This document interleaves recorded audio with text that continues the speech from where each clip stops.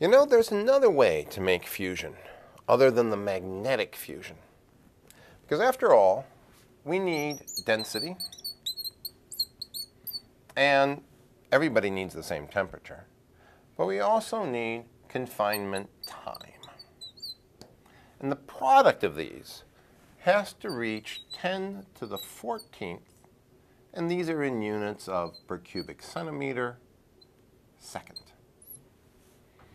Now, magnetic fusion energy does it like this. We have a density of 10 to the 14th per cubic centimeter. And that's not very much density. That's really a vacuum, right? The air you're breathing here is, is a million times more dense. And the confinement time is one second. Doesn't sound like much. But that's not how long the fusion device is on for. It could be on forever. It's any individual particle, any quanta of energy, how long does it stay reacting? This product together equals that number, the Lawson criteria.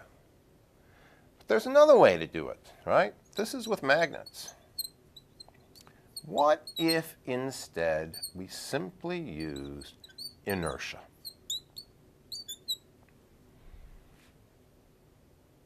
Let's say you took, oh, some sphere and you hit it really hard, right? Say you took a hammer here, right? And you cracked against this glass ball. Well, whatever you had right here, this little part would start breaking, right? And this chip of glass would go flying in. And if I took another hammer on this side, right? And, and I took this and I swatted it at the same time, this piece of glass would come flying in together. And for a moment, those pieces of glass would hit each other.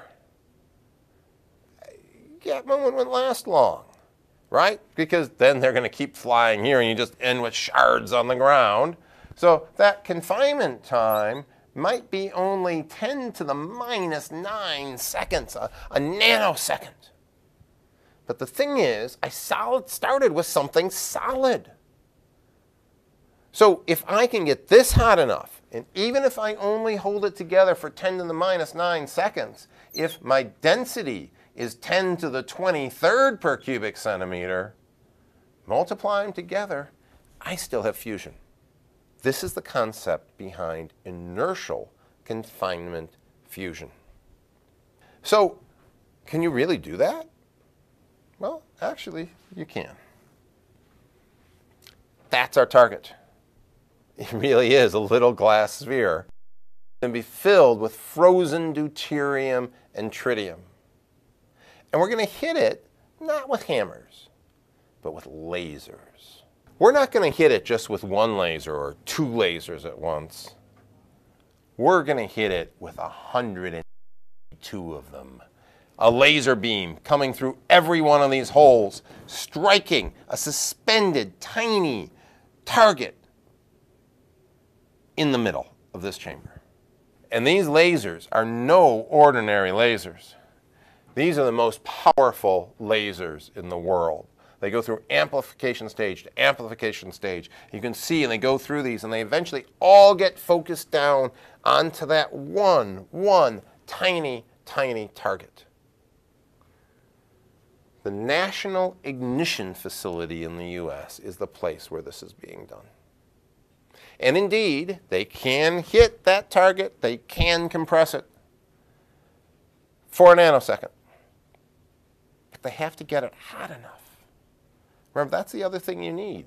You can have that Lawson criteria of density and confinement time, but you have to have something that's also hot enough to fuse. Fortunately, there are some clever ideas. One of them that's proved fairly successful is not hitting the tiny dot itself, but rather you shoot offside of it and you hit a can. And that can makes x-rays, and those x-rays go and compress the tiny sphere of deuterium and tritium. And this works better. So our target is pointed here, not just a little dot, but that little dot suspended in this can. And all those 190 some lasers and the giant amplifiers is all in this giant national ignition facility in California.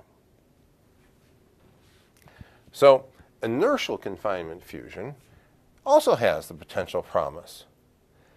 It's further away than magnetic fusion in terms of getting to the parameters it has to be.